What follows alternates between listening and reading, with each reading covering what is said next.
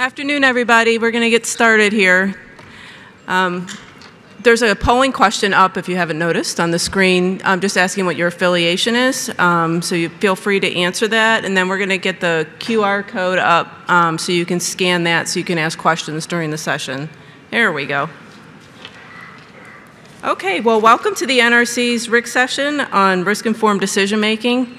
Uh, risk-informed decision-making will be key to navigating the nuclear future, I believe, um, and especially in the context of the significant changes that were discussed this morning during the plenary session. So I think it fits very nicely. I'm Andrea Cook. I'm the Deputy Office Director for Engineering in the Office of Nuclear Reactor Regulation, and I will be your session chair.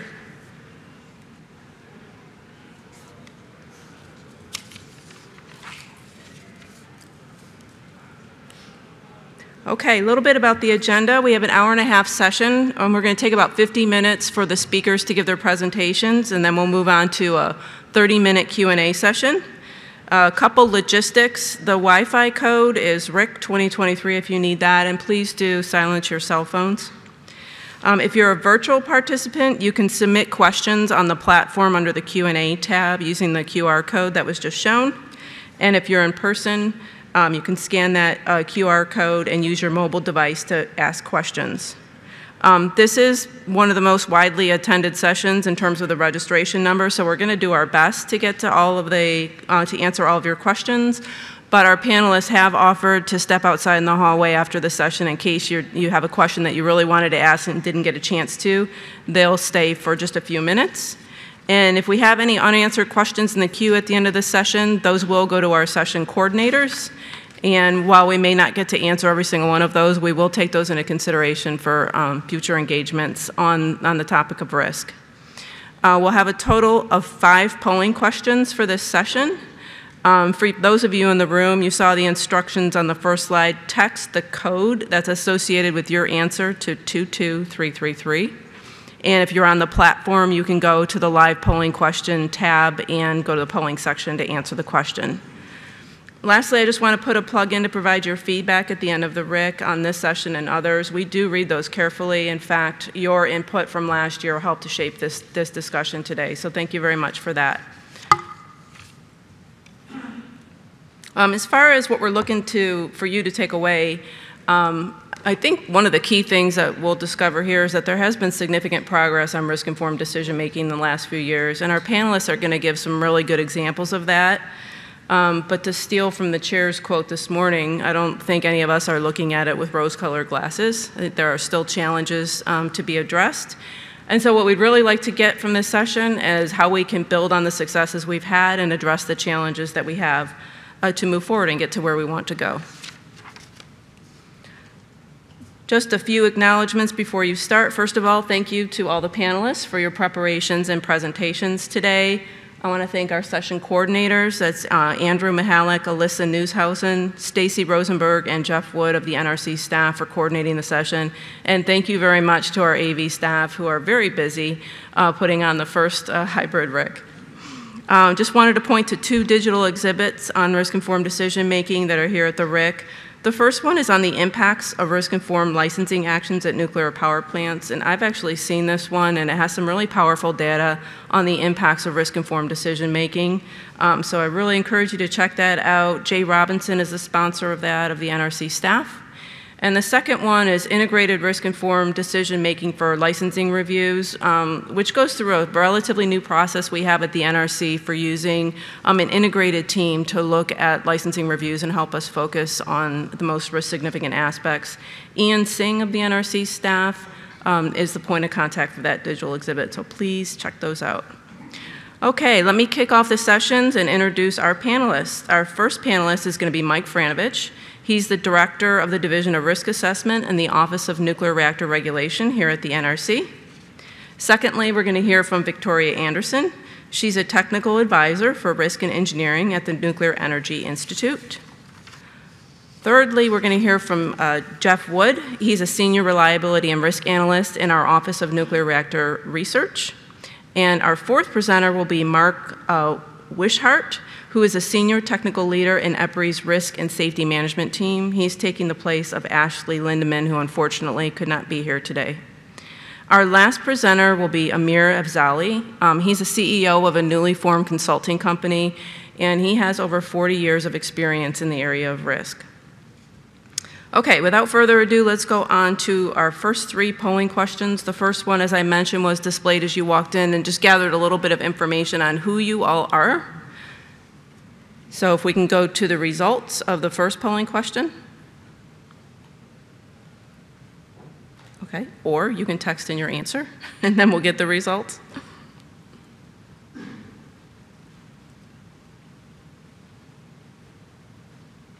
Can we get the results?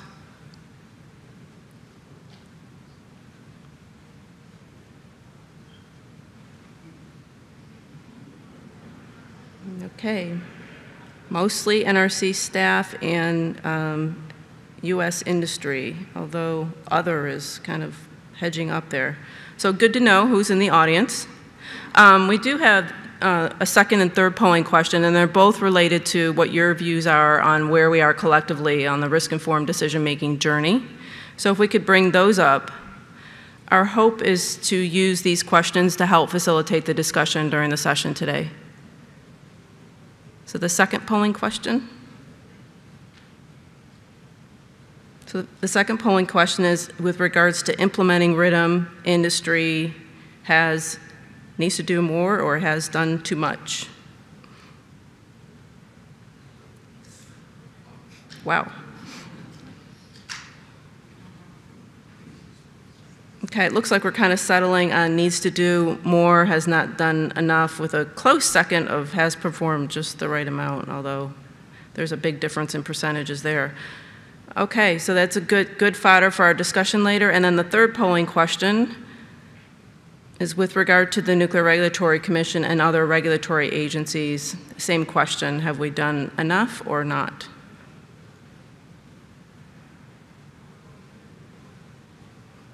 Okay, the results there look pretty similar to the question that we had for the industry, with most people saying we need to do more. So hopefully we'll get some good suggestions on where those areas are that we can do more and what the challenges are that we can address moving into the future. So thanks for that. We're looking forward to a very interactive session. And without further delay, I'm going to pass the baton off to Mike Franovich for our first presentation.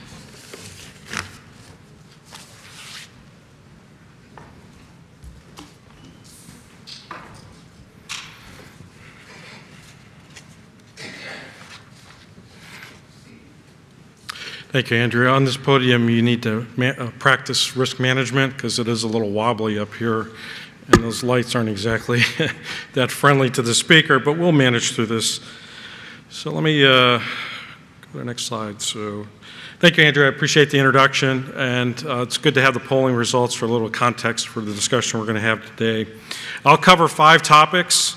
Uh, being the first panelist, I'll be, briefly cover RIDM history in a two-minute drill of history. It won't do it justice, but I'll give it my best shot. And cover some of the key policies and actions that shape our work. RIDM guidance for enhancing graded approaches, international cooperation, and close with two recent examples of RIDM in operating in new reactors. To paraphrase Winston Churchill, the farther back you look in history, the greater you are likely to see the future. A search for the true representation of risk has been a quest since the inception of the Atomic Energy Act. WASH 1400 reactor safety study used PRA technology and sowed the seeds of risk-informed decision-making. Its aim then, just as it is today with risk assessment, is to enable better decisions about nuclear safety. An early example of RIDM was consideration of the WASH 1400 accident release sequences as part of the planning basis for emergency planning established in 1978. The accident at TMI accelerated the demand for RIDM. In the 1980s, two key policies served as regulatory stabilizers. The 1985 Severe Accident Policy declared that existing plants did not need further regulatory actions unless new significant information emerged. The policy called for a systematic approach to identify vulnerabilities in both operating plants and future designs. The 86 safety goal policy answered the question of how safe is safe enough and furthered the call for to identify severe accident vulnerabilities. PRA offered that gateway. In turn, licensees conducted individual plant examinations. In today's parlance, this major stress test actually led to over 500 improvements in the plants. At the same time, designers of new reactors were required to develop and use design PRAs and expectation established in the original Part 52. Moving forward into 1995, the PRA policy statement proffered that PRA technology should be increased in all regulatory matters in a manner that complements the deterministic approach and supports traditional defense in depth. Another objective is to reduce unnecessary conservatisms.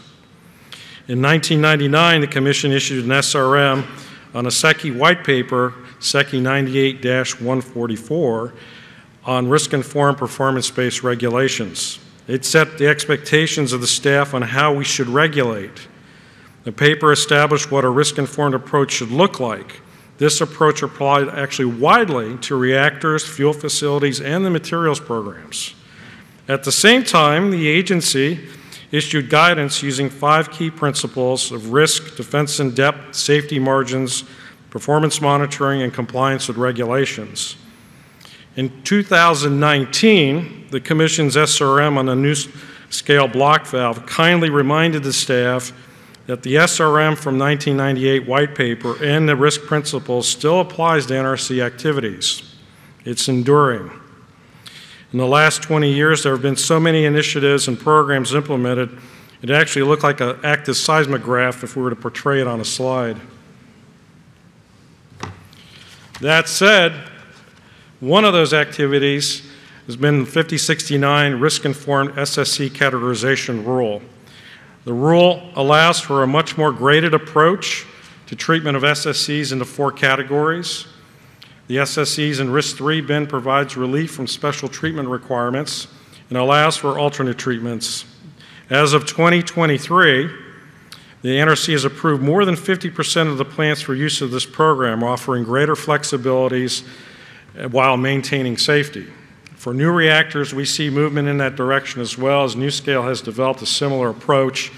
And lastly, but not least, build off the 5069 framework, the industry-led licensing modernization project actually refined the approach tailored to advanced reactors. Turning to the topic of international cooperation, uh, the NRC strategic leadership actually in international activity states verbatim, advanced risk management concepts is through an international standards and guidance for graded approaches in licensing and oversight of operating new reactors. Why this strategic objective? Because PRA provides a technology neutral means to achieve a graded approach along with risk management.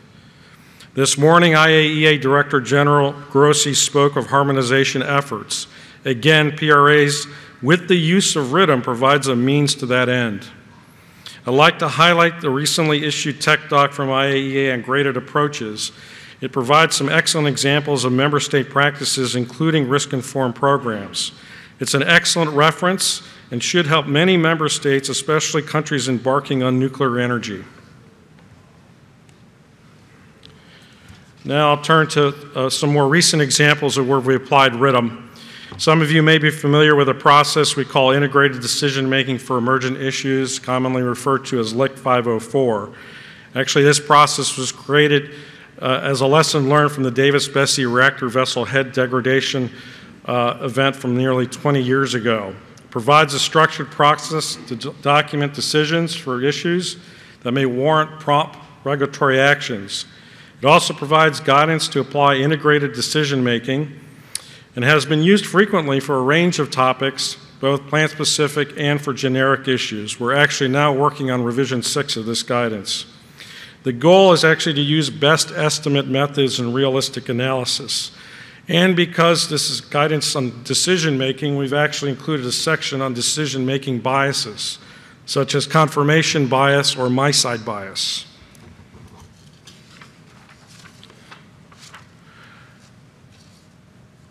Portrayed on this slide is actually some examples or recommendations that could come out of such an evaluation from the LIC 504 process.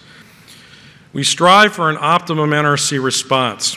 And that's what we're trying to illustrate here. An objective is not to underreact to something that could be significant, nor overreact to something that doesn't have importance to it. There's actually a range of uh, potential outcomes from this process. You'll see on the right-hand side of this chart examples. Clearly, if we're in a range of where something is truly very significant, we may require immediate regulatory actions. But going down the scale, we could involve formal backfit analysis if the issue is of substantial increase to safety, and that's been defined by the Commission. Could involve information notices, or we can use smart inspection samples in the baseline inspection program, or no regulatory action may be an outcome. Again, we're using RIDM. We're not relying on numbers alone, so we are applying the five key principles for risk-informed decision making. An example where we've done that work recently is in the treatment of high-energy arcing faults. First, I must say, uh, U.S. plants are protected for HEAF events. This electrical hazard is not unique to nuclear. However, its proximity to certain equipment in nuclear plant poses certain risks. Since the early 2000s, we have accrued significant operating experience through the U.S. and international work. Several years ago, regulators recognized that the use of aluminum in electrical systems may pose additional risk compared to copper-based systems. But our state of knowledge was also changing from the operating experience. This illustrates that risk may not be static and vigilant use of operating experience is appropriate. In the U.S., this hastened what became great work done by EPRI and the NRC together through an existing MOU to improve the methods and assess the, the operating experience, reflecting the wide electrical configurations in plants and important concepts such as fault clearing times and the variations in breaker coordination studies. In 2022, we did complete our LIC 504 evaluation and we used two reference sites. We appreciate the assistance of the plants that supported us in that effort to apply new fire analysis techniques and risk methods. We concluded that no new requirements were warranted. However, we did apply the Be riskSMART framework, which you heard of uh, from the chairman this morning, in, de in, determining that we actually should emphasize the T part of the Be riskSMART, which is teaching. That led to an increased outreach to stakeholders and a webinar uh, to share the qualitative and quantitative insights, the importance of prevention, mitigation, event, and event management.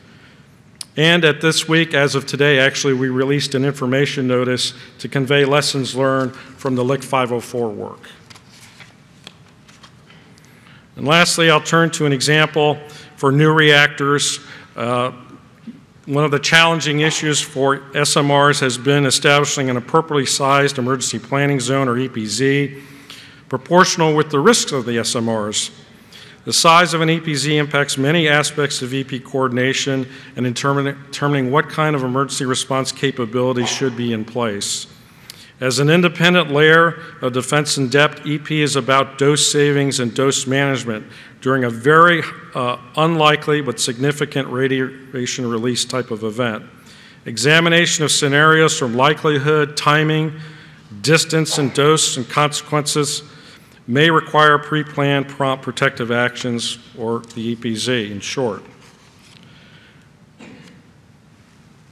If you participated in the earlier session on EP earlier this afternoon, you've heard how the NRC uses our state-of-the-art reactor consequence analysis tools to risk inform our EP regulations and guidance, and how modern PRA can provide insights on the spectrum of accidents used to inform EP and appropriately sized EPZs. The challenge was to address emergency situations that could capture a reasonable portion of the residual risk of SMRs. It's a different proposition than just looking at the safety case of the design. In 2022, we successfully resolved intricate EPZ-related issues for rare earthquakes, other hazards, and, and treatment of uncertainties for multi-module facility. More specifically, the NRC approved a novel approach and methodology proposed by NuScale. We believe that this work has promise for other innovative designs as well. And lastly, I'll close with we are advancing RIDM through our regulatory programs and activities to focus resources on what is most safety significant. We use risk assessment in a manner that complements defense in depth, safety margins, engineering judgment, and enterprise risk as well. We continue to develop innovative approaches. We include leveraging international cooperation to increase the use of RIDM and more graded approaches to safety. And in closing, I'll say, when done right, RIDM clarifies, cuts through, and captures the essence and spirit of making great decisions. With that, that concludes my presentation, and I'll turn it over to Victoria.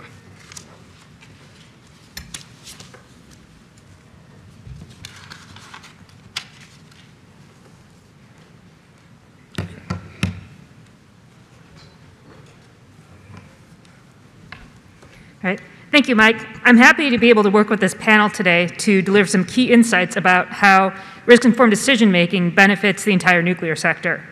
My presentation will focus on the benefits that the operating nuclear power reactors have seen from implementation of risk-informed programs, including some unexpected benefits that we didn't originally anticipate when we developed these.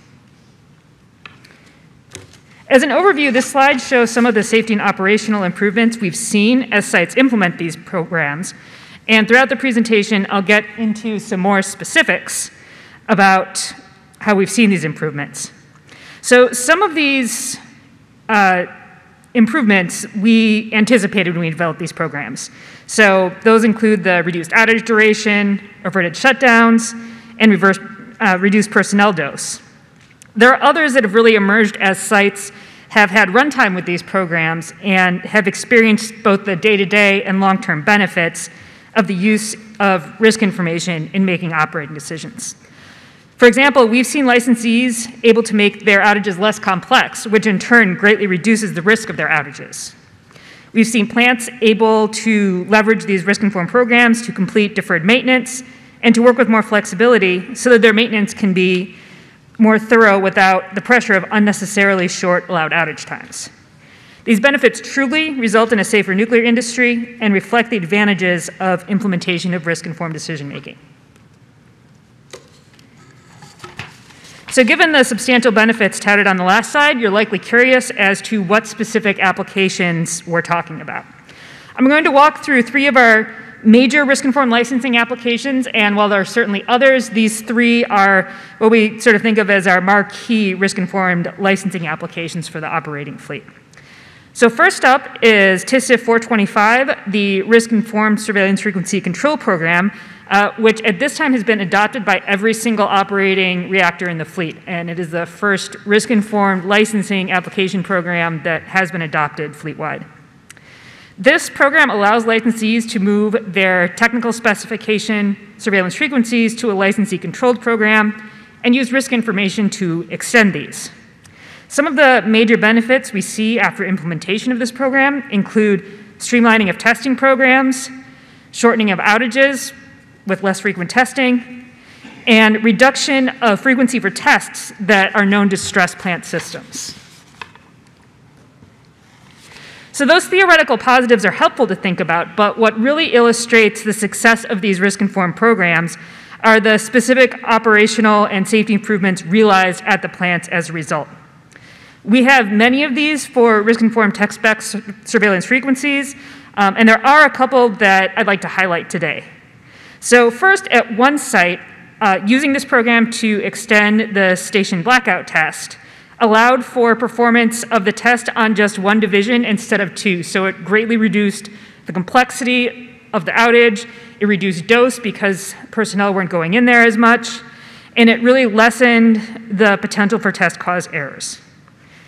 Second, at another site, they were able to extend their emergency diesel generator operability tests, and that supported a train-specific outage, meaning that only one emergency core cooling train is worked on for a given outage and that also greatly reduced outage complexity and risk.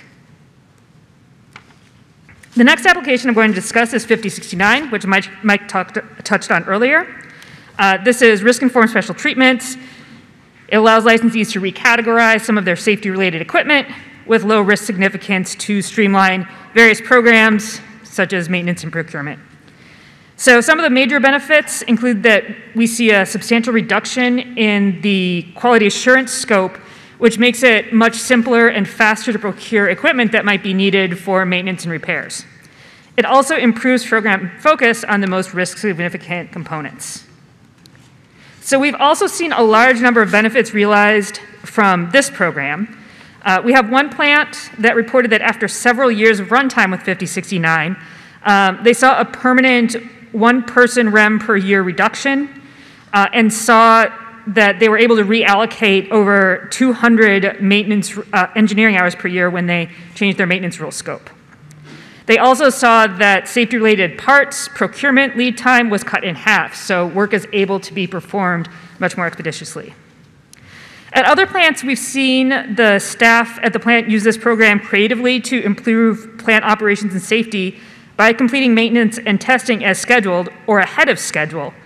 Uh, one plant was able to use this program to downgrade a valve so that it didn't have to be part of an IST test, and that ultimately enabled the test to be performed.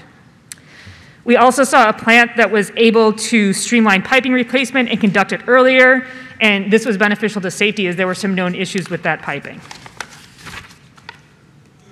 Finally, I'm going to discuss one of one more risk-informed licensing application, which has been adopted by nearly half the operating fleet at this time. This is TSTF 505, or Risk-Informed Technical Specification Completion Times. This allows licensees to extend equipment allowed outage time up to 30 days based on plant configuration specific risk assessment. So there are major benefits of this. One of the ones that's touted most often is the avoidance of unplanned shutdowns, which has both economic and safety benefits. This has helped support more deliberate maintenance practices, and it substantially reduces the need for NOEDs or notices of enforcement discretion, which require some substantial emergent resources from both licensees and NRC. With fewer NOEDs, both the NRC and licensees have more staff time to focus on more important issues and ultimately improve operations throughout the fleet. We do, of course, have some plant-specific examples for this application as well. One of these is related to an anticipated benefit, averted shutdowns, that actually revealed an additional safety benefit.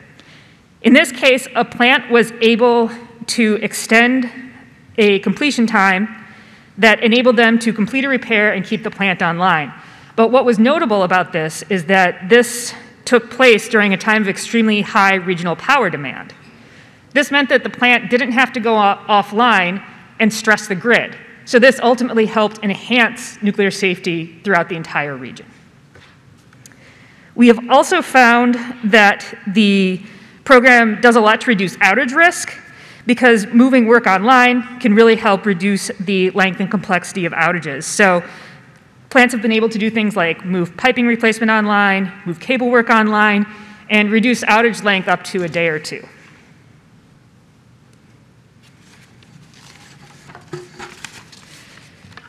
So while the benefits discussed today are substantial and numerous, I really do believe that we're going to see even more of this as we continue implementing these programs, and we'll see more refocusing of both utility and NRC resources. I do want to take a moment to acknowledge that well, uh, we that we do still have remaining challenges ahead in implementation of these programs and getting full benefit throughout the fleet. Some of these challenges include adoption of these programs throughout the entire fleet, because we have not yet achieved that for all these programs and continued education on the nature of risk-informed programs, both for NRC and the industry. As we implement more and more of these far-reaching risk-informed programs, it becomes more and more important that everybody on the staff at the plant, at the utility, and at the NRC fully understands what these programs are about and how they work. I'll now turn it over to Jeff Wood of the NRC, who will discuss the NRC's efforts on infrastructure supporting risk-informed decision-making.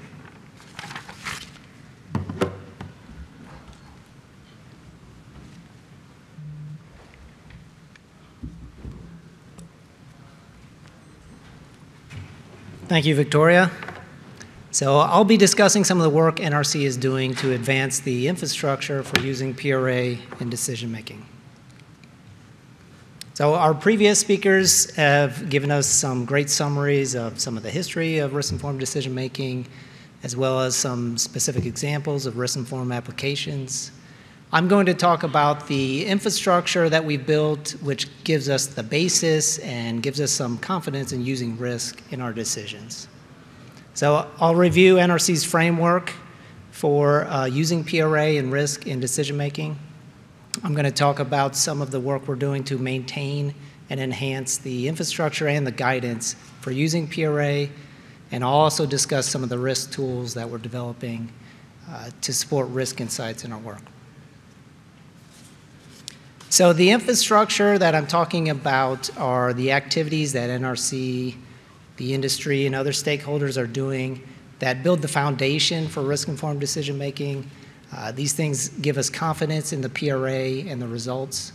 So these activities include use of the PRA standards, the PRA peer review process, the many NRC regulatory guides that support risk-informed applications, developing PRA models and related tools, development of new PRA methods, and NRC's approach to PRA acceptability.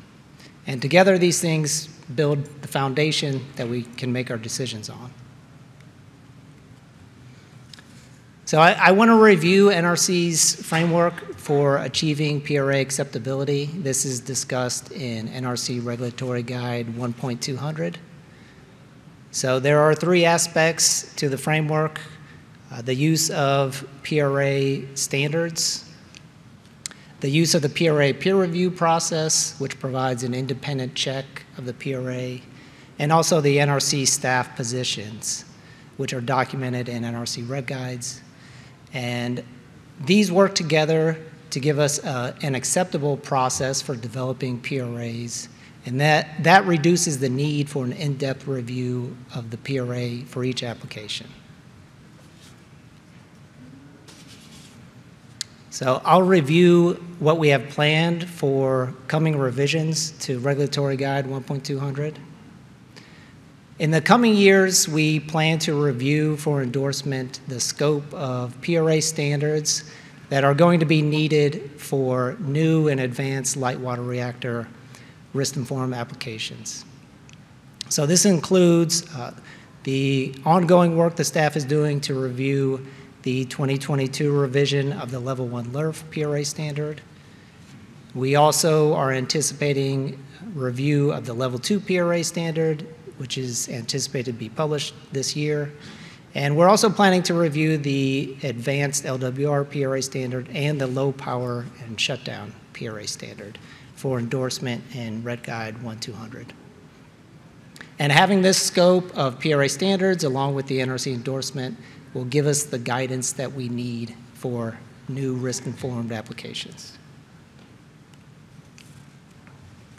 So we're also continuing to develop guidance for non-LWR PRAs and risk-informed decision-making activities for non-LWR applications. Uh, Regulatory Guide 1.247 has been issued for trial use, and this provides NRC's endorsement of the non-LWR PRA standard. And we're continuing to evaluate other gaps in our guidance related to non-LWR PRA. So for example, we're looking at guidance on the treatment of uncertainties and addressing some areas specific to non-LWR PRA. So we're planning now to make sure we have the guidance for some of the new areas for non-LWR PRA so we can make the timely decisions for those future applications. So in addition to the guidance that we're developing, NRC also has some tools that are being developed to help support our use of PRA and working with the PRA standards. Uh, one of the things I want to mention is the development of a PRA standards database. So as new versions of standards are issued, uh, revisions and updates are issued along with revisions to the corresponding reg guides, uh, we recognize we need a tool to help us work a little smarter with these documents so we can track what has changed and we can work more efficiently and also maintain consistency of our positions on the PRA standard requirements. So Sandia National Laboratories is supporting us in developing this database, and we think this is going to be a much more uh, efficient way to work with the PRA standards. So another PRA tool I want to mention is the set of NRC's SPAR models. So the SPAR models are NRC's risk assessment models. Uh, they're used uh, in several regulatory programs, and they're a resource for the staff to incorporate risk, risk insights into their work. And we have a lot of support from the Idaho National Lab to maintain and update these models. And one of the key inputs to that work to keep these models up to date is benchmarking against information provided by licensees from their PRA models. And we want to continue to emphasize this moving forward because it's important for us to make sure we're maintaining uh, up-to-date risk insights for our work. And in addition to the SPAR models, I'll mention we have a um, PRA software, the SAPHIRE software, also developed by the Idaho National Laboratory.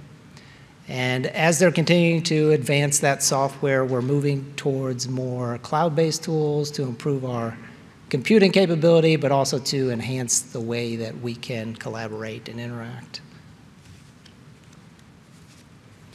So one other tool I want to mention is called SPAR Dash. So SPAR Dash is our risk assessment dashboard which summarizes the results from the SPAR models. So with this project, the SPAR Dash project, we're aiming to make risk information more accessible to the NRC staff, including some of the staff that, who are not necessarily familiar with PRA or not PRA experts. Uh, we're, we're aiming to present this in an easy to use and an interactive format. This is another tool that also supports our Be riskSMART framework, to incorporate risk-informed thinking into our decision-making. And it's a communication tool to help us communicate risk insights amongst our peers and to decision makers. So this tool summarizes a number of different PRA importance measures and some other PRA results. And it can be useful in assisting us with uh, prioritizing and also uh, ranking different contributors to risk that can inform our work in a number of different ways. So this is an example where we're leveraging some modern data analytical tools to improve the way that we're accessing and communicating risk insights. Just to summarize some of the key messages from the presentation, so NRC has developed a framework for establishing um, the acceptability of PRAs for risk-informed decision-making. NRC also continues to develop some PRA tools to incorporate risk insights into our work.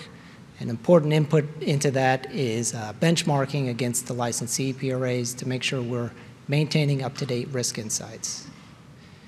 And we're also continuing to, de to, to develop guidance and tools to support the use of PRA and risk-informed decision-making for new and advanced non-LWR and LWR applications. So that concludes my presentation, and now I'll turn it over to Mark Wishart from EPRI.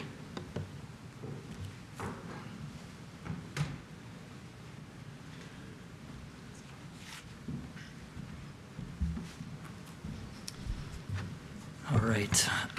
Thank you, Jeff. Um, and thank you to the NRC for allowing me to um, participate in today's conversation. I like the, uh, the title of this, it's a voyage, and it um, certainly has been a voyage, and the voyage is not without its challenges. We've seen challenges along the way, and we will continue to see challenges. But I think it's fair to say that uh, the benefits and the value of risk-informed decision-making is real. I think Victoria did a nice job at illustrating what some of those benefits are and um, where we see the benefits moving forward. Over the past several decades, uh, we've really had to do a lot of work to get us to where we are today. And thanks, Mike, for your um, timeline. It really helps to visualize just how much work has gone into putting us in the position that we are today. We've had to develop the foundation, we've had to build upon that foundation. We've had to adapt to change and challenges in our industry. But through that all, we've been able to develop, we've been able to expand the risk-informed applications and our PRA capabilities.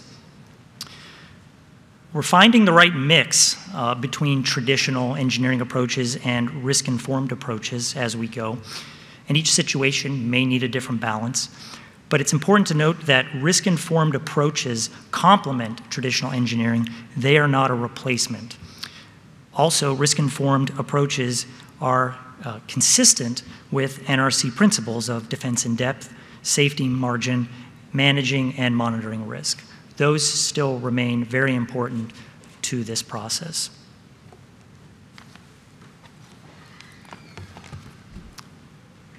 As we move forward and look forward, we continue to focus on having a structured and transparent, uh, risk-informed regulatory framework.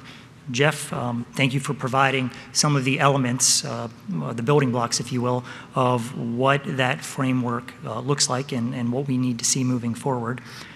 Um, we also recognize that consistency and predictability benefit both the regulator and the industry.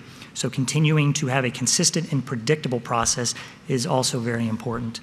Uh, to that end, in 2019, EPRI published a technical document, a framework for using risk insights. This document uh, addresses the gaps in the overall risk-informed decision-making process. It looks at both the inputs and the outputs to the process.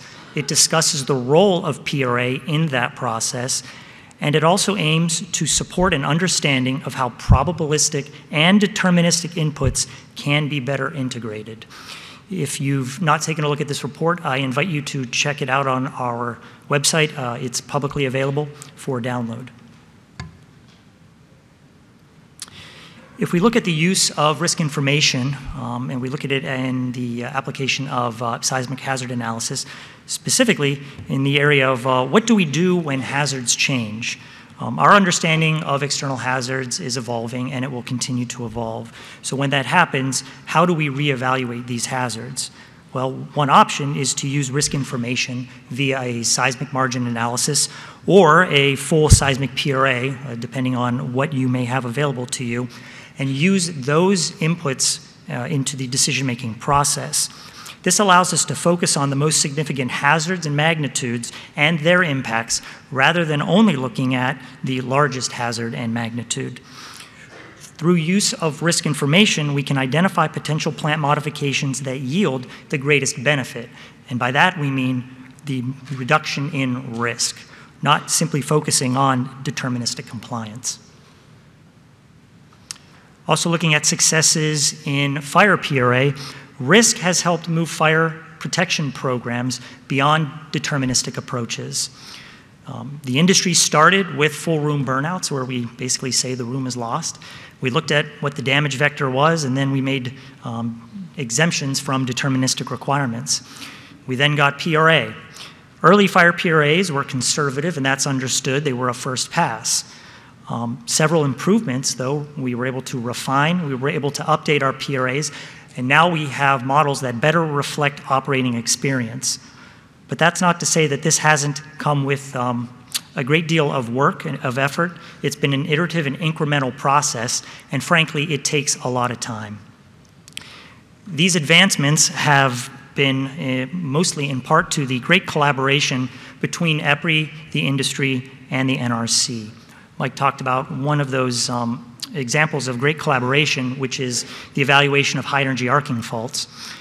Early testing suggested that the hazard zone of influence, its impact um, on other um, components or uh, uh, equipment within the room, was larger than we initially thought. But after a multi year research effort, taking a deep look into the hazard, we were able to provide additional guidance for how we might model this risk moving forward.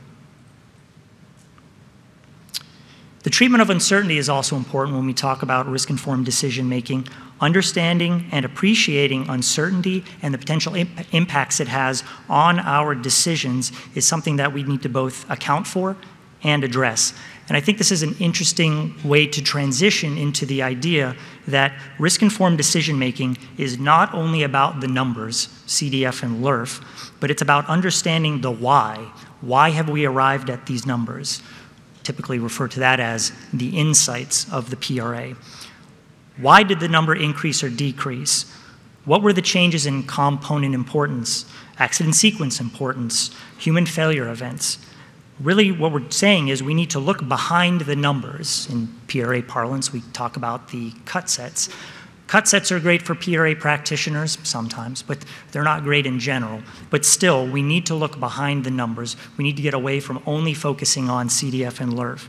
Uncertainty is another piece of that insight that we get from risk-informed decision making.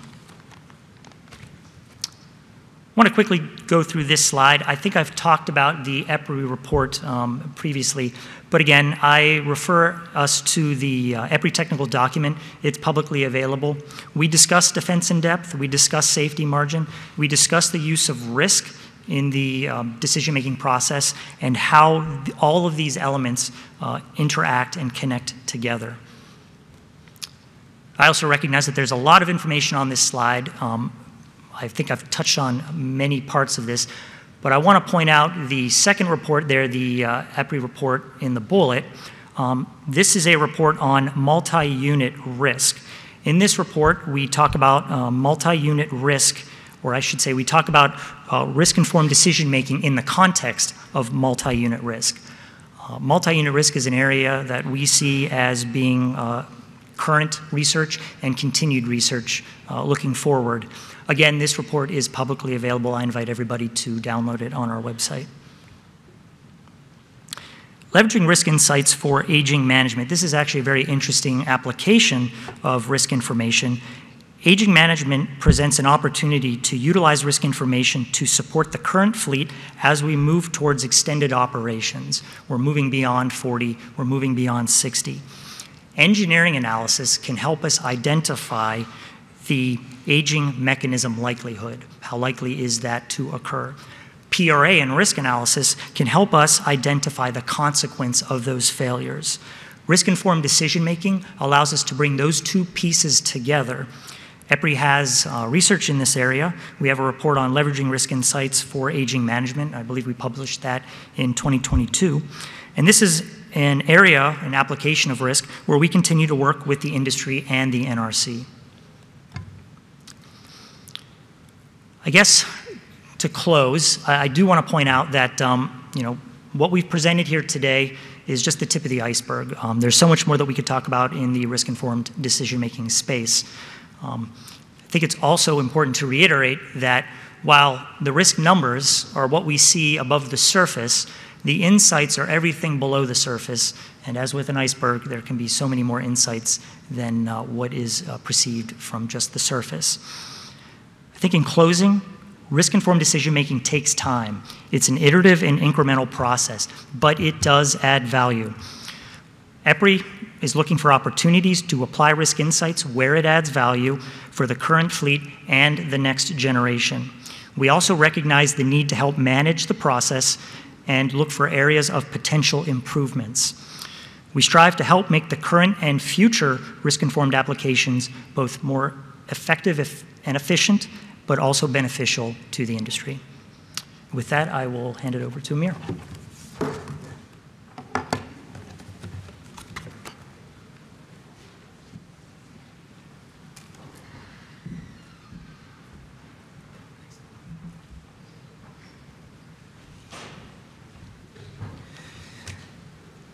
Good afternoon. Um, it is my pleasure to be here under the spotlight um, it's uh, it's um, interesting to me, uh, spending almost 40 years in this, this field, how far we have come and what we have achieved. And I, I was, uh, the main focus of this uh, presentation is where we go from here and how do we do it this time around from the beginning the right way.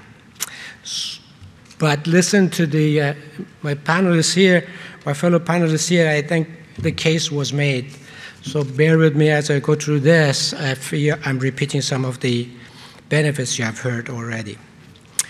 Uh, just as a heads up, as we go through this, um, there are a bunch of slides, we have a lot of information on them. Uh, that's deliberate to document the thought process, but uh, uh for the sake of time, I'm not going to cover every slide in details. So um, I believe innovation. Everybody uh, that I talk to, and uh, generally um, people who are involved in, in the industry, believe innovation is critical for nuclear to be a, a solution for future energy generation. So I'm going to um, submit to you that let's take that as, as a face value and go with it. That's a given in, in this conversation. So the next question is that, so how do we make it happen? So this, this talk is about risk-informed performance-based approaches using a rationalist approach to regulation is the best way to allowing that innovation to occur. But before talking about the, uh, the premise and the, and, and, and the assertion that I provided here, I would like to um, provide some context of the rest of the conversation. The first uh, item is what we call by regulatory framework. Regulatory framework is beyond the initial licensing. So this is a picture of regulatory framework that you can find on the NRC website. So it's got five components. In component one, NRC provides their expectations like Part 50, Part 52, Part 53, etc. They provide some guidance of how to meet that expectation. In component two, the applicants, licensee provide justification how they meet those expectations. In component three, NRC provides oversight that you are meeting those expectations. In component four, the operating experience are evaluated to see the original license basis still makes sense. And component five, you do all the research to support all the other components. So the next item is, um, the, in terms of context, is uh, what do we mean by different construct of regulation? So the primary, the three different constructs. One is the what I call unstructured construct. It's ad hoc construct. You just bring your case and you try to make your case and, and um, try to prove to the NRC that, that you, you meet their uh, expectations. And you don't know exactly, the NRC doesn't exactly tell you what those expectations are either. In a structured approach, there are two op options. One of them is called structuralist approach. Some people call it deterministic approach. That basically what, what it says, you don't need to know exactly how I meet it as long as you comply with the structure that I'm providing for defense in depth. In the rationalist approach, you provide a rational basis for meeting a defense in depth uh, criteria and margin. So it's the aggregation of all the features that you have as opposed to step by step, step by step process of the constructionist approach. So as, as I'm talking about the rest of this conversation, I'm basically not talking about the ad hoc approach historically that has been proven not to be something that neither the NRC or or the regulated industry is interested in. So I'm going to con concentrate on the structuralist and rationalist approach. Another um, point that I'd like to make that we are talking about, currently we're talking about light water, large light water reactors of only two different type of design, PWRs and BWRs.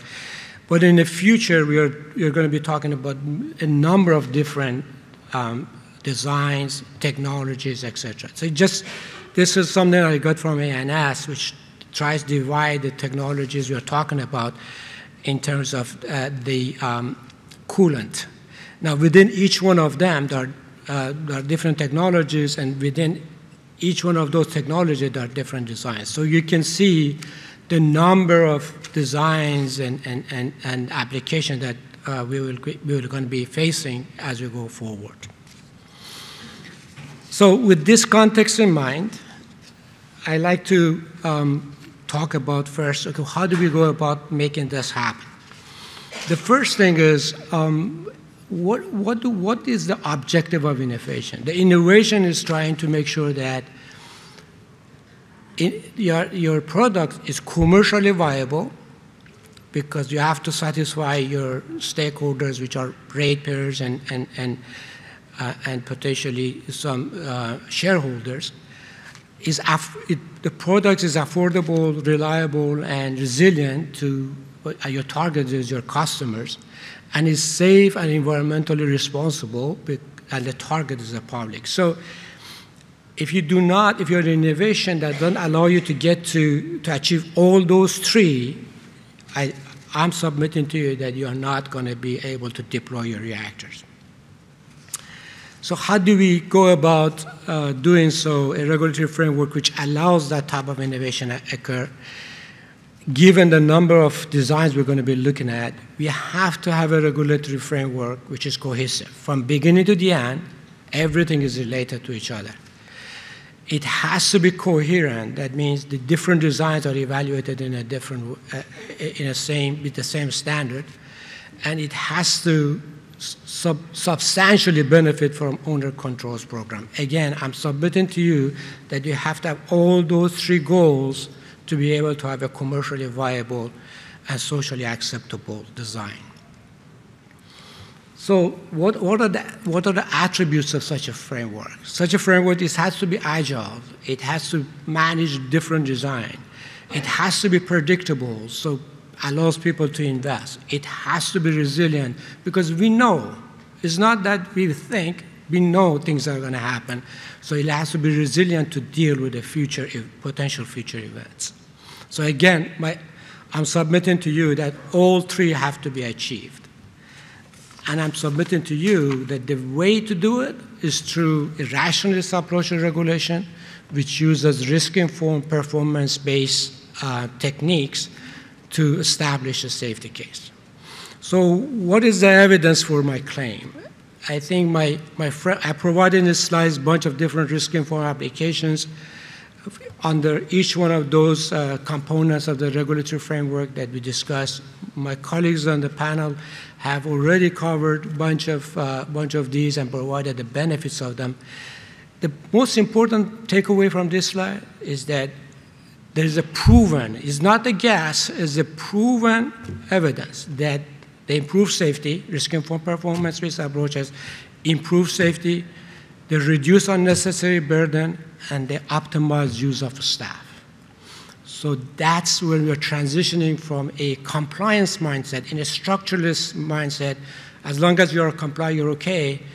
That is not adequate. You're going to want to move to the to excellence mindset where compliance is a minimum objective, and that you can do that through a rationalist approach which uses risk-informed performance-based regulation. A again, this is not something that uh, is just a, my opinion. Is I believe that opinion is based on a significant evidence provided by my, my colleagues uh, earlier on. So where do we go from here? Given um, this is the case, where do we where do we go uh, from here. I, I, provided a number of suggestions on, on, on this slide. I'm not going to go through every one of them. Actually, I'm almost going to go through none of them, except number five. Why am I going after number five? Because that's the component five. That's where the research enables something to happen.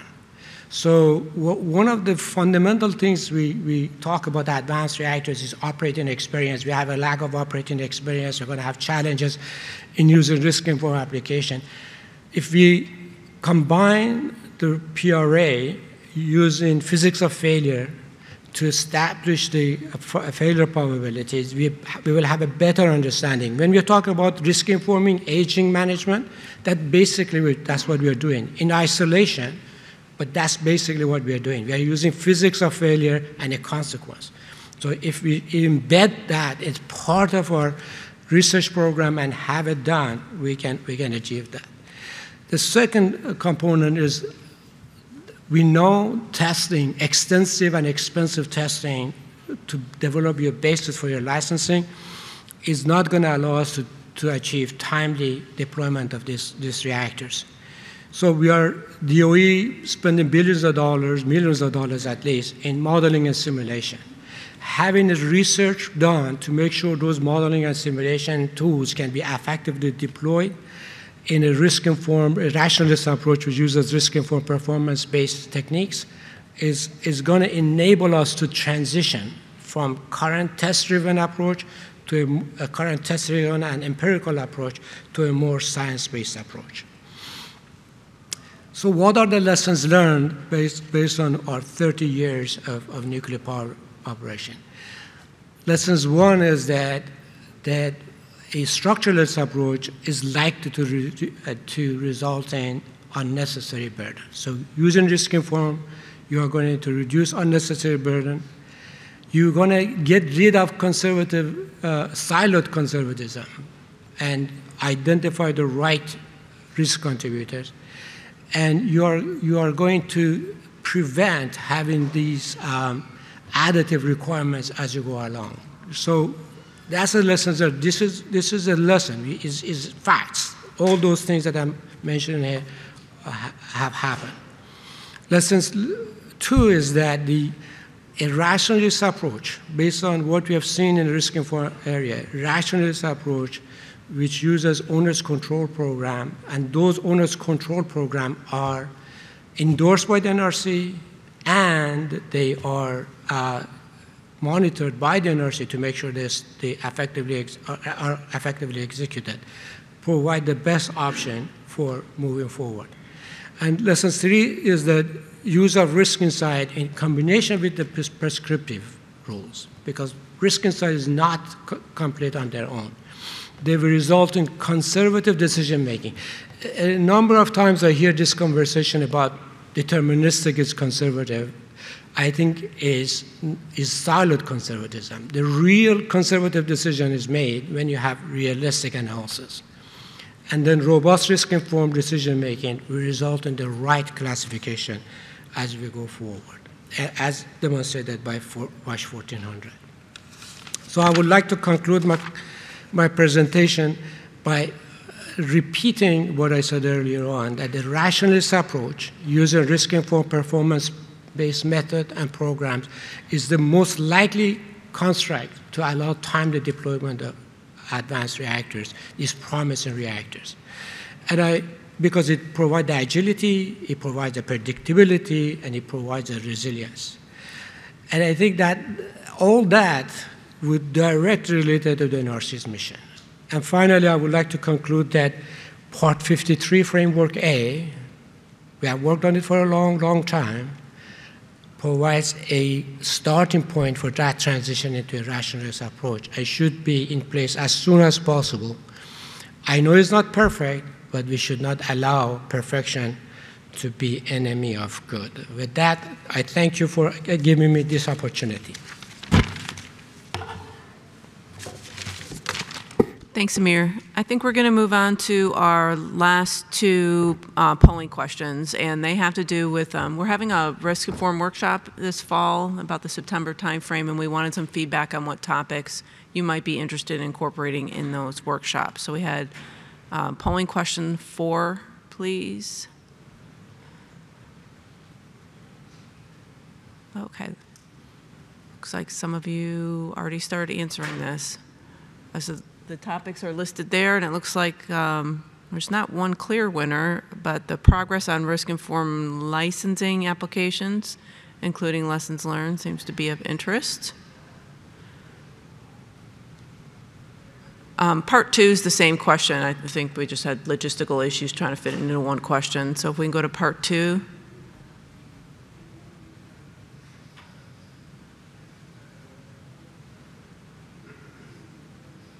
Oof.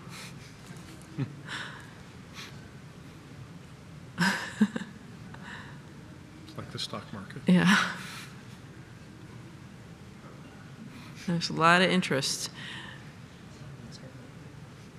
Okay, looks like uh, risk informing advanced reactors is another area of interest, although I saw EP and security pop up there too. So thank you for that. We'll, we'll definitely going to take note of that as we put together the agenda for the risk workshops. Um, so with that, we're going to move on to Q's and A's, our favorite part of the panel session. So you guys can scan that code. If you're participating virtually, you can go to the Q&A tab on the platform to ask questions. Um, so we, we had a few pop up already, so we'll get started. Our first question is um, for Mike. I think it's pretty straightforward. What is the level of public involvement engagement in the LIC 504 process? Great, thank you for the question. The LIC 504 process, I should have clarified, in my presentation is an internally focused process, internal decisions within the agency and how we manage the enterprise risk from those emergent issues. Uh, again, it was a lesson learned from Davis Besse. We had no process to actually document our decisions. It was uh, easy for auditors to come in and say, What's your process? Uh, the GAO audit as a lesson learned, and we didn't have one. Uh, so it, was focused on internal decisions and be able to document them in a systematic way. It does not substitute other processes that may have public engagement, though. Uh, depends on what the recommendations come out of such an evaluation. Those processes may have a, a public direct public engagement component. Um, others may not. Depends on the nature of the recommendations. But 504 is an internally focused process. Okay, thanks. And the next question's for Jeff, down toward the end of the table. Or I guess you're kind of in the middle, sorry. Um, how will PRA tools and SPAR models impact advanced reactor rulemaking Part 53? How will those tools be used for the rule?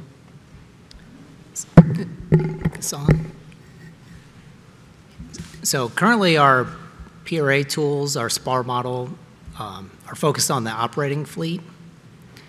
So I think there's always a little bit of a balance in developing those models because we want to be efficient with our resources and not get too far ahead of where the designs actually are.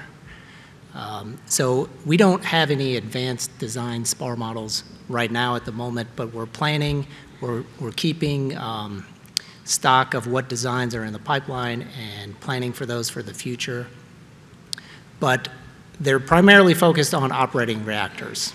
So our most current model is for the, the Vogtle 3 and 4 units.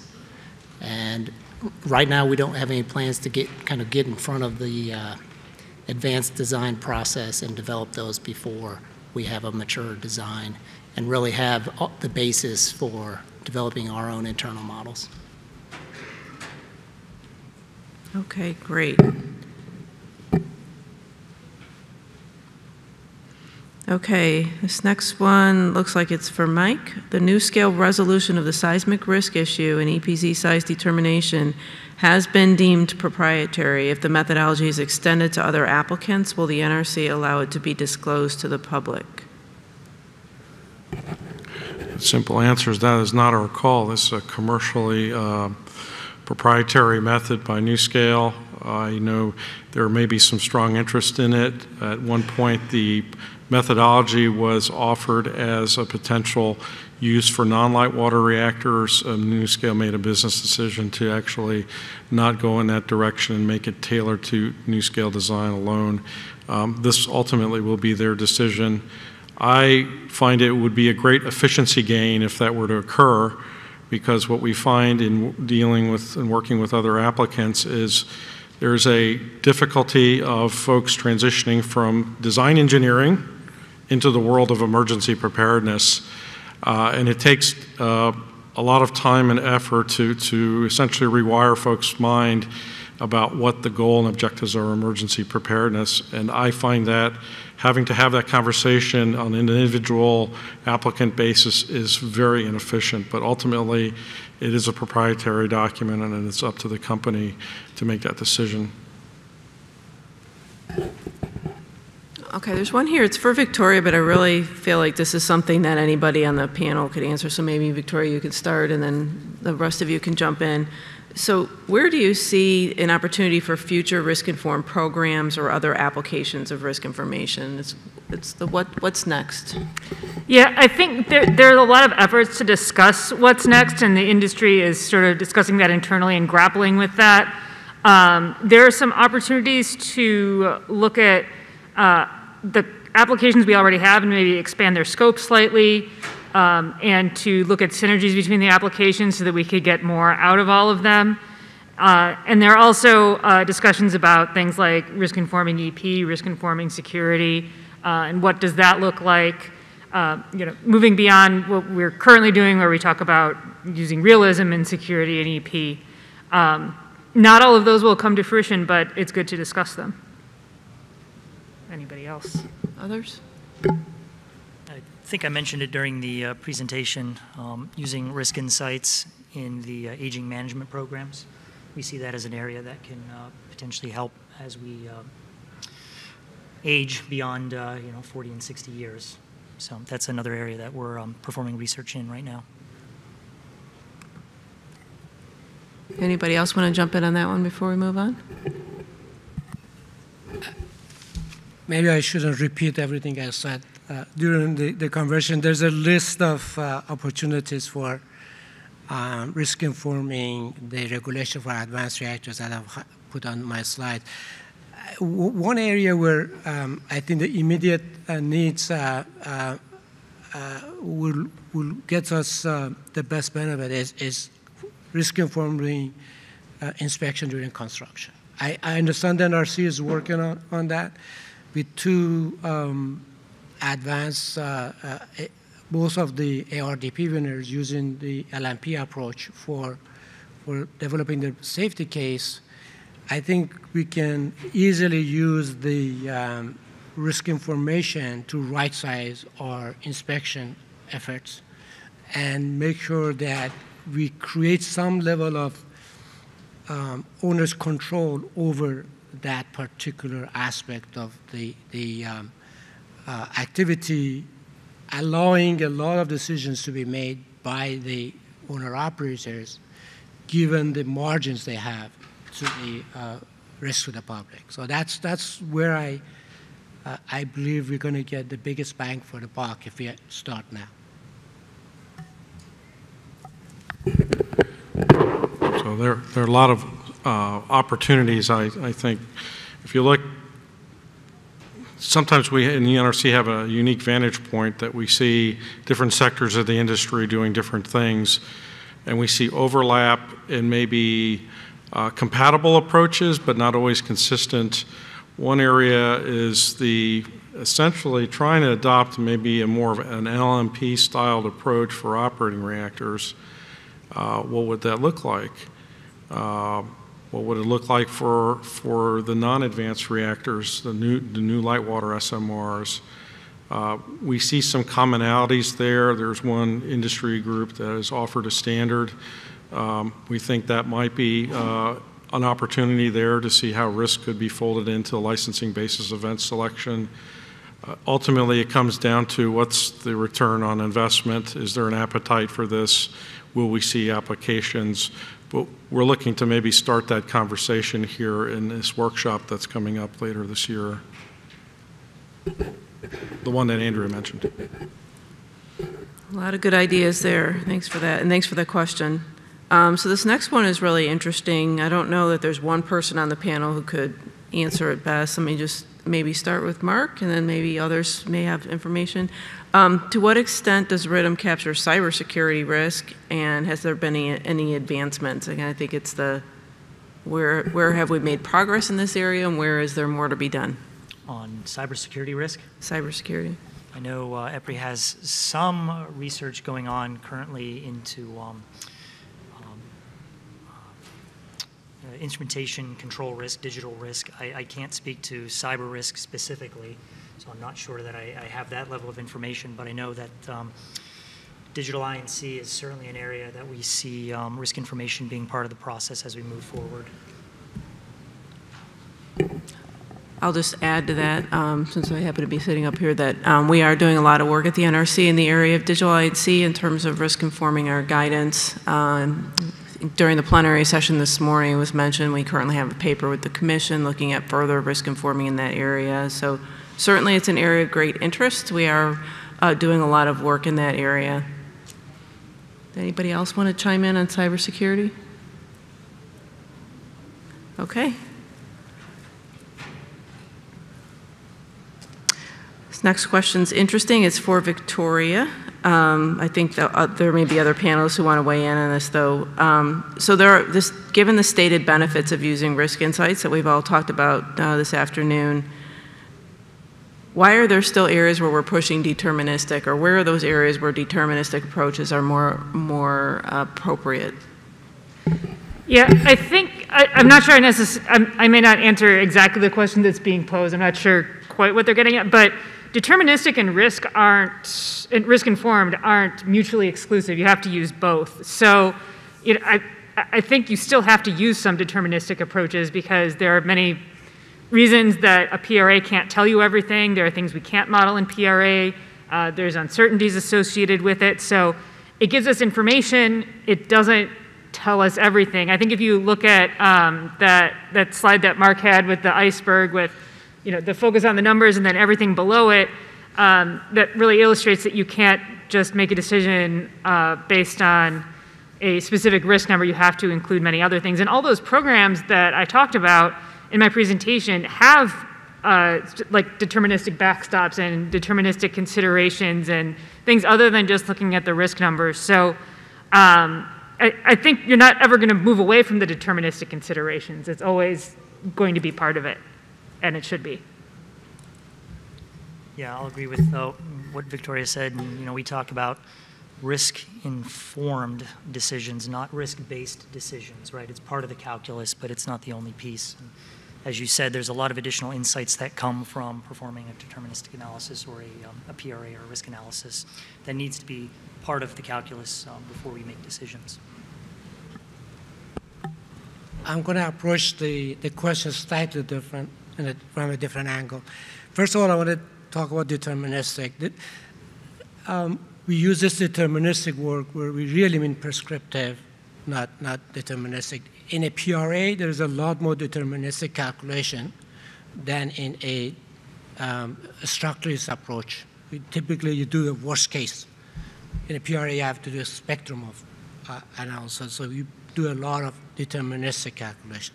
So with, it, with that context, you at this point in time, because the technical adequacy of PRA is not sufficient to include uh, or, or because it's going to be too expensive, to include every possible type of a hazard and do a adequate evaluation of it, is beneficial to supplement it by some prescriptive rule.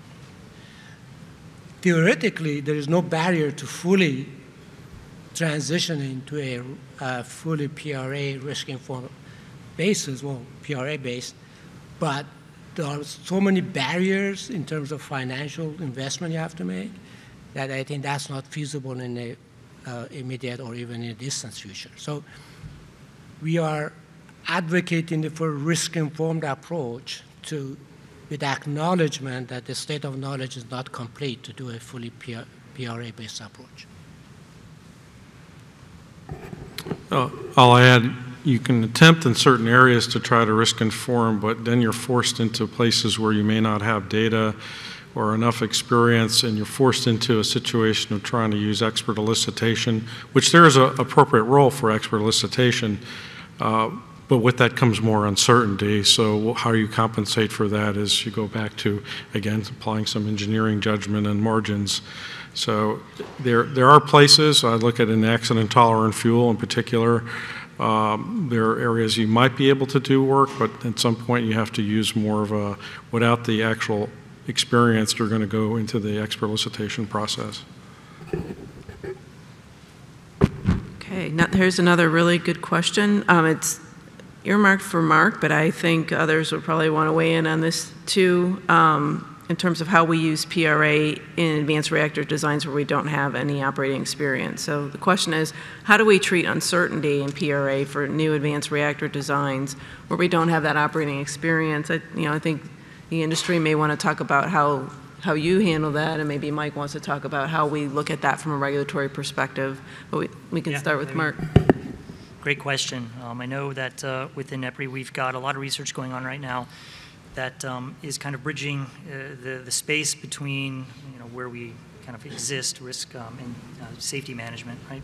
And then advanced uh, nuclear technology. So we've got a colleague of mine looking at these types of questions. What is risk for um, advanced reactors? Uh, it may not be the uh, figures of merit that we're currently used to, core damage and uh, large early release. And then, you know, what do you do if you don't have data, right? And we, we know, you know talk about expert elicitation and some other methodologies that can be implemented, but agree, those come with a, uh, a significant amount of uncertainty that needs to be uh, accounted for. So I I guess I don't have an exact answer to the question, but I, but I agree. These are areas that we need to start exploring, especially as we're starting to use risk uh, insights on uh, areas where we don't necessarily have um, a large data set yet. And it took us time to, to get that data set.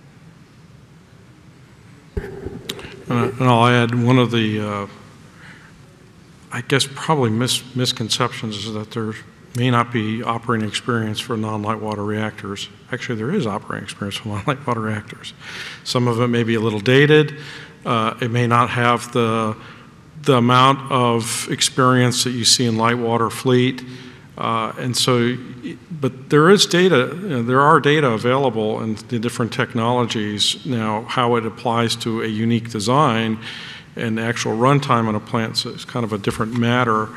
Uh, There is also another perspective, and there's a smaller project that we're working on with research to see if we can cultivate, extract insights, operating experience insights out of the light water fleet that could be applicable to non-light water.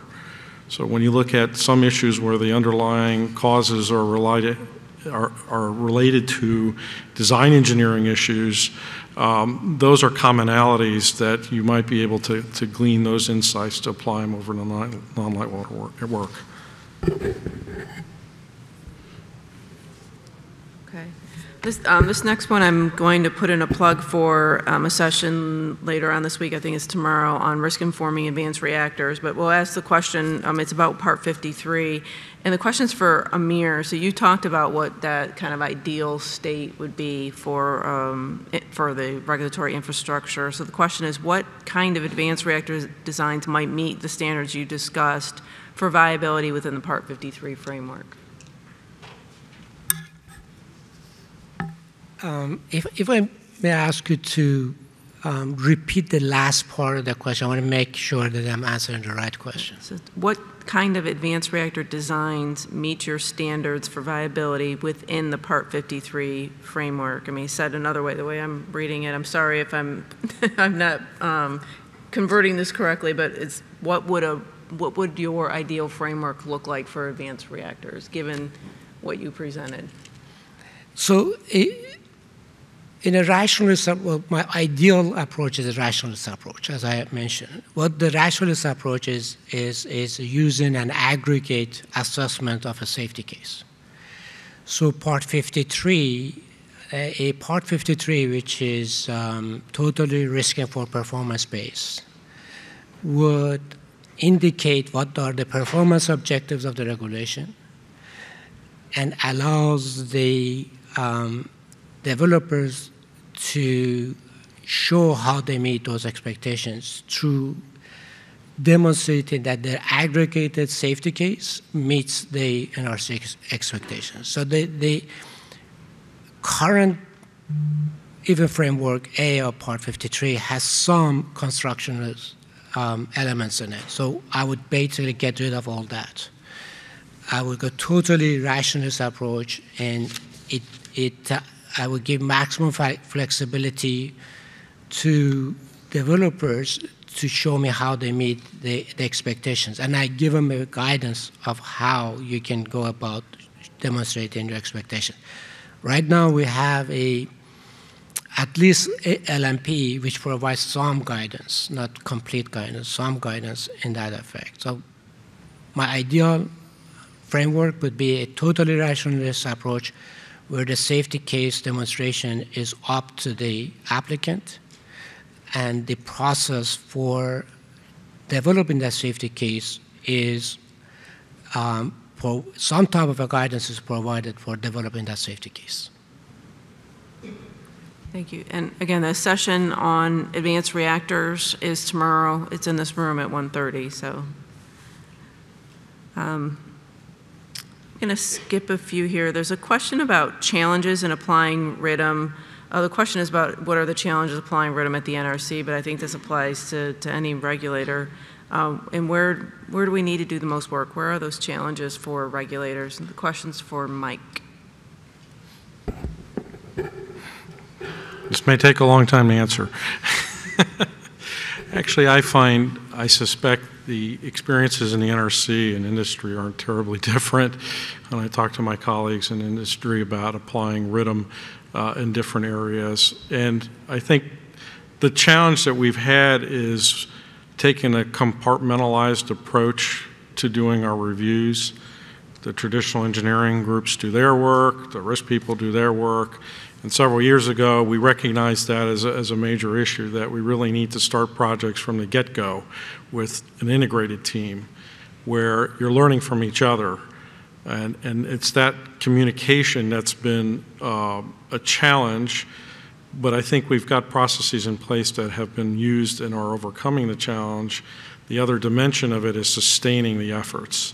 So by incorporating it into your procedures and the leadership backing it up and reinforcing those expectations helps helps sustain the, the type of culture that you're looking for here where you're having more of the conversation because you're learning from each other. Whether it's risk analysts or the engineering groups uh, there's no one group that has a corner on the market of ideas or insights. So that's the kind of things we're dealing with and i suspect for plants that have transition to some of the programs that Victoria mentioned, that same kind of conversation happens within the utilities too. So it's, uh, it's not dissimilar. Okay. So we have uh, five more minutes. We'll take a few more questions. Um, I'll just stick with you, Mike. Um, can you effectively implement a performance-based decision without a PRA?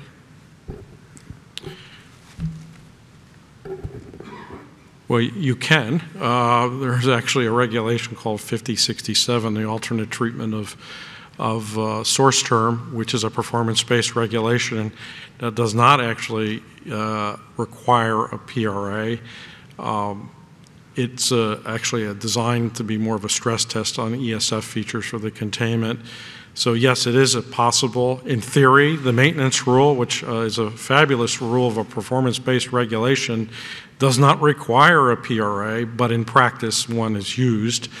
Uh, it's difficult to actually inventory all the components under a PRA. You'd have a gargantuan model, so it's kind of a blended approach. But that that's an early forerunner forerunner of a performance-based regulation that does not require specifically a PRA, and plants have tried to do it without a PRA, but ultimately everyone has adopted PRA to help inform those programs. Okay, let's do one more question. This one is really interesting and it's for Amir. Um, so how should risk communication to the public change under a rationalist framework when that approach may be seen as being more subjective? So I think the risk communication is a very important concept.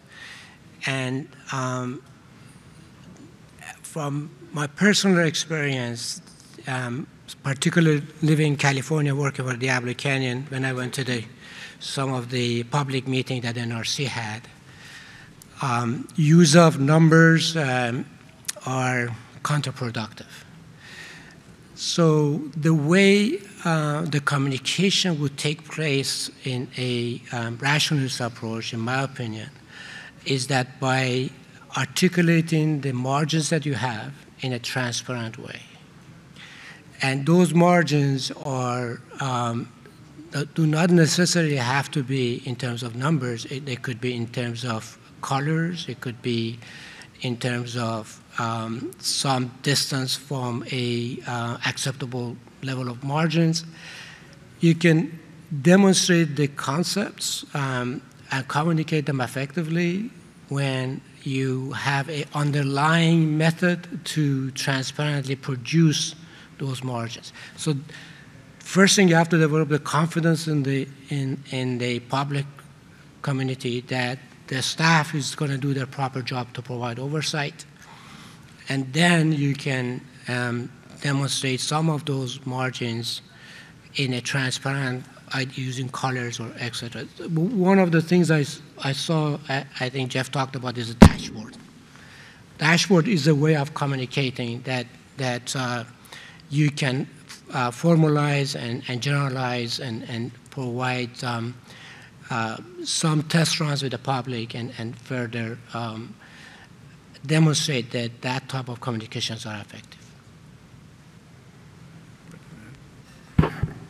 I'd add to that that solution set is one of the elements I think that's under underutilized and not tied always very well is the role of performance monitoring on equipment, which is help maintaining a picture about those margins, where you see uh, early warning of degradation and how to restore the margin in the facilities. Sometimes in these conversations, we, we don't talk about and overlay all the surveillance frequency programs, uh, surveillances that are done, inspections that are done by licensees. Uh, the conversation sometimes treats that as a secondary matter. It eventually comes into the conversation, but I think those types of monitoring programs are really vital to, to show that the health of the plant will be maintained as well as its margins. Okay, so it is right at 5 o'clock. I want to thank you all for your engagement and the questions. It was really good discussion today, so appreciate your participation, and thanks again to all the panelists for your presentations and preparation. We'll conclude the session now.